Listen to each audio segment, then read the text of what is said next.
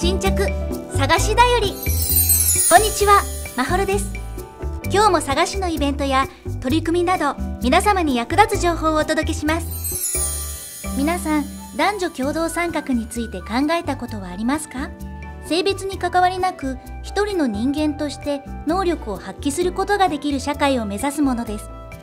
今日は日本女性会議男女共同参画2013アナン参加者募集のお知らせです。日本女性会議とは男女共同参画社会の実現に向けた課題の解決策を探るとともに参加者相互の交流の促進や情報のネットワーク化を図ることを目的とした全国規模の会議です。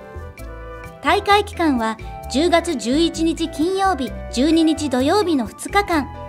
出発は10日木曜日です。開催地は徳島県阿南市です。応募資格は18歳以上の佐賀市在住の方。男女共同参画に関心があり今後情報誌作成や啓発授業に参加していただける方で定員は1名です。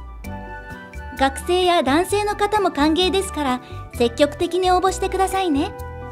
応募期間は6月17日から28日まで。応募用紙に必要事項を記入の上本庁男女共同参画課にお持ちください。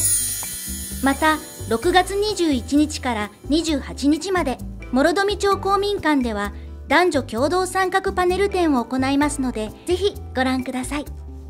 詳しくは佐賀市役所男女共同参画課電話095240の7014までお問い合わせください。佐賀市を代表して勉強に行けるチャンスですよ。以上新着探しだよりでした。